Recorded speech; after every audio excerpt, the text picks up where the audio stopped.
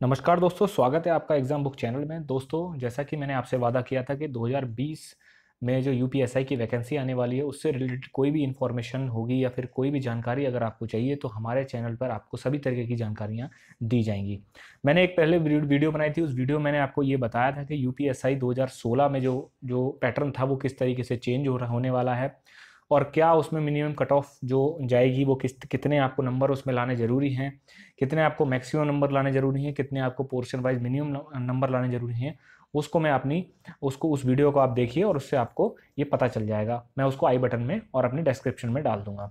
दोस्तों इस वीडियो में बा, बात एक ऐसे टॉपिक पर करना चाहता हूँ जिस टॉपिक को लेकर कोई भी अगर नया एग्ज़ाम आता है किसी भी एग्ज़ाम से रिलेटेड एक सबसे जो एक मेजर क्वेरी जो होती है एक मेजर सवाल जो होता है बच्चों का वो ये होता है कि बुक्स क्या पढ़ी जाएँ, कोई भी एग्ज़ाम आ जाए आपका, किसी भी तरीके एग्ज़ाम तो तो कैंडिडेट में एक बहुत ज़्यादा बेचैनी होती है कि मैं बुक्स क्या करूँ? और ये क्वेश्चन भी वाजिब है, क्यों? क्योंकि बुक्स एक ऐसी चीज़ होती है कि अगर हम करेक्ट सिलेक्शन ऑफ़ बुक्स ना रहा तो कहीं ना कहीं हमारी तैयारी का जो एक एक एक पाथ होता है, एक रास्ता होता है, वो दूसरी तरफ़ चला जाता है, जो कि हमारा एग्ज़ाम में नुकसानदेह हो जाता है। तो 2020 यूपीएसआई एक बहुत बड़ी वैकेंसी है, छप्पन प्लस वैकेंसी आएगी, इतनी बड़ी वैकेंसी मुझे नहीं लगता कि अभी तक कोई आई है। तो इसके लिए आपको पूरी जी जान से लगना पड़ेगा। तो इस वीडियो में बात करूँगा कि आपको बुक्स कौन सी पढ़नी है, क्योंकि मैंने 2016 का जो एग्ज़ाम था वो दिया है और मेरा रिटर्न और अब मेरी जो रनिंग थी पीईटी पीएसटी मैंने क्वालिफाई करी है और केस जो है सुप्रीम कोर्ट में। उसके लिए मैं एक अलग वीडियो बनाऊँगा कि उसमें प्रॉब्लम क्या थी उस वैकेंसी में। तो इससे मैं बात करना चाहता हूँ कि सबसे पहले कि आपको क्या पढ़ना चाहिए। ठीक है? तो 2020 यूपीएससी 2020 के लिए महत्वपूर्ण पुस्तकें जो रहेंगी और आप मेरी एक एक सलाह मानिए कि बुक्स पे ज़्यादा ना जाइए, कुछ ही बुक्स सेलेक्टेड रखिए, क्योंकि सेलेक्टेड बुक्स को अगर आप बार बार करेंगे क्योंकि जो मैं बुक्स आपको बताने जा रहा हूँ, उस बुक्स से डायरेक्ट क्वेश्चन भी आए हुए हैं।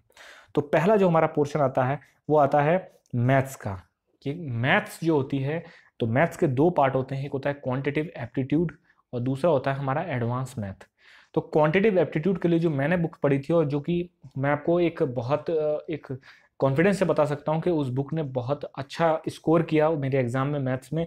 वो थी ऑब्जेक्टिव अर्थमेटिक एक आती है राजेश वर्मा की। इस बुक की खास बात यह है कि ये बुक आपको मैथ्स वो बेसिक्स टू एडवांस तक ले जाती है।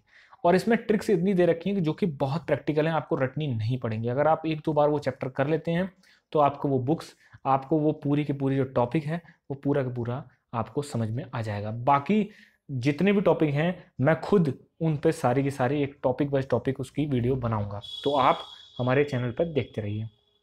दूसरा जो एक मेजर पोर्शन आता है, जिससे बहुत लड़कों को और बहुत जो गर्ल्स हैं, उनको बुखार आ जाता है, वो होता है एडवांस मैथ वो ये समझते हैं कि एडवांस मैथ पता नहीं ऐसी क्या चीज़ है एडवांस मैथ में और जो कि बहुत कम समय में, कम मेहनत के साथ और बहुत स्कोरिंग एक जो, एक टॉपिक जो होता है, वो होता है एडवांस मैथ का। एडवांस मैथ से रिलेटेड मैं अलग से एक वीडियो बनाऊँगा, उसमें आपको ये बताऊँगा कि एडवांस मैथ में आपको कौन से टॉपिक करने हैं, कौन से नहीं करने जो कि बहुत ज़रूरी होता है।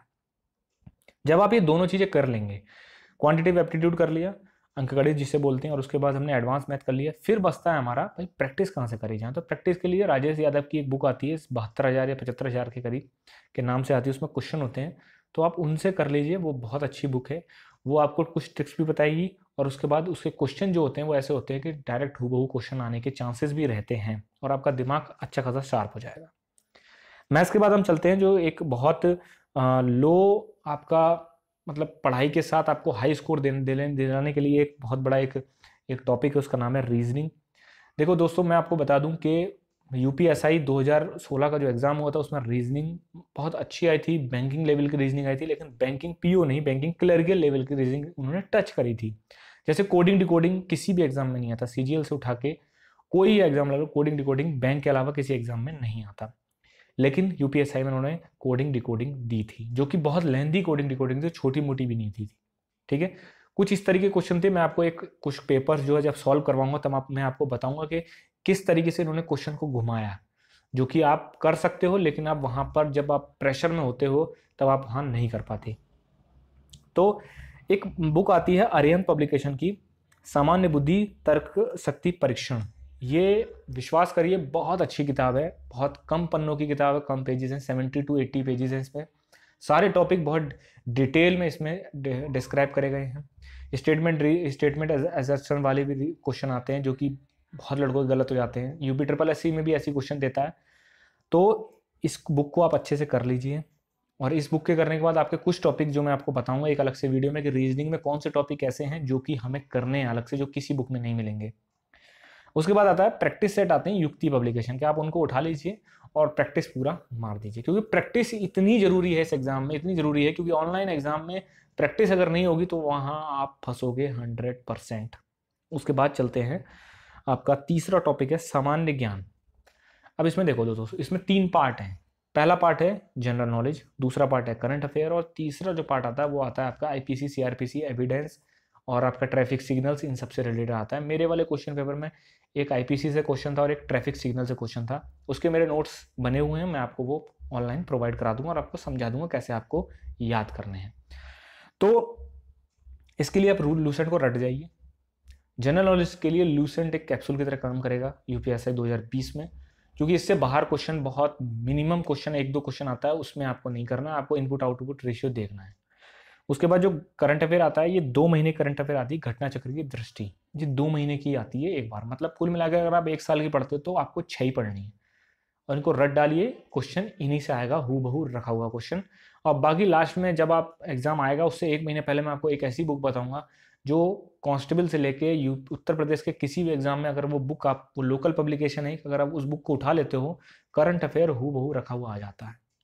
आप उस समय मेरी बात मानोगे जिस समय आप, वो एग्ज़ाम गए।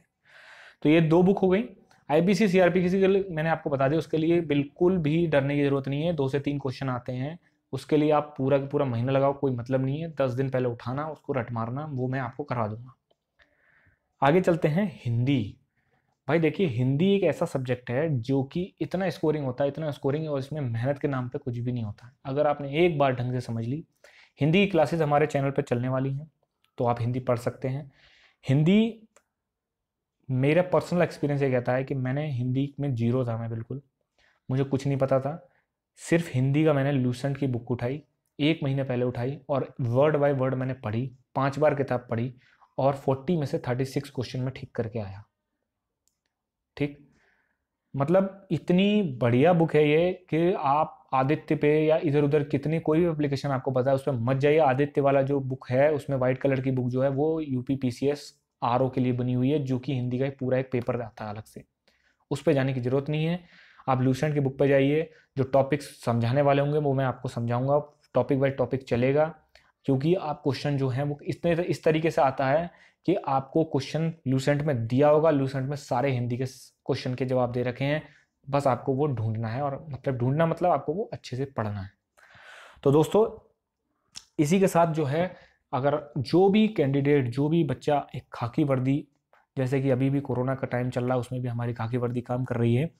तो जिसको भी इस इस जॉब में आने का एक ड्रीम जॉब लेके आता है डबल स्टार भाई बहुत बड़ी चीज़ होती है डबल स्टार से अपनी जॉब स्टार्ट करना। तो इसके लिए चाहता है तो ये बुक्स आप अभी खरीद लीजिए धीरे धीरे इनको पढ़िए। बाकी हम आपके साथ हैं, वीडियो बाय वीडियो। इन्हीं बुक्स से हम आपको सारी की सारी वीडियोस प्रोवाइड कराएँगे, टॉपिक वाइज टॉपिक।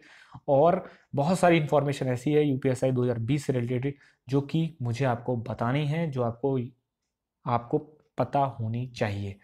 किसी भी तरीके के रिलेटेड कोई भी आपको क्वेरीज हैं, वो हमें कमेंट बॉक्स में बताइए। अगर वो थोड़ी अच्छी क्वारी होगी, बड़ी क्वारी होगी तो आपको एक अलग से वीडियो में बताई जाएगी, नहीं तो आपको वहीं कमेंट बॉक्स में ही उसका आंसर दिया जाएगा। दोस्तों थैंक यू